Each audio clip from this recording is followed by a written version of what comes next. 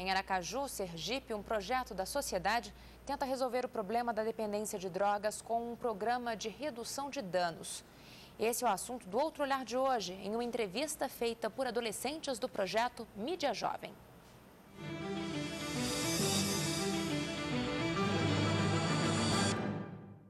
Meu nome é Sérgio Andrade. E qual a sua profissão? Eu sou técnico em enfermagem, presidente da ACEREDA, Associação Sergipana de Redução de Danos, redução de riscos e danos. Então a gente quebra alguns, alguns tabus da droga, uns tabus, coisas que vieram com a cultura. A gente considera o uso de drogas uma coisa cultural, não é um caso de polícia, né? não é um caso de saúde, é uma coisa de, de cultura.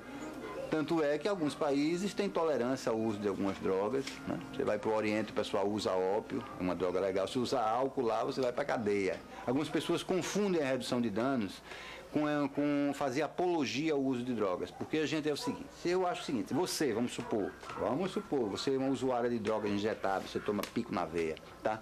Então você, eu chego lá e encontro você tomando pico na veia com 10 pessoas, todo mundo compartilhando seringa, agulha. Então a gente chega e fornece uma seringa limpa para essa pessoa. Diz, rapaz, você não pode usar isso não, tem que ter cada um a sua, senão vocês vão se contaminar de AIDS, de hepatite hepatite B, hepatite C e tal, tal, tal, Por isso que a gente chama de reduzir o dano. O dano já existe. Mas essa é uma política voltada para quem já usa, para o usuário, né? para quem não usa.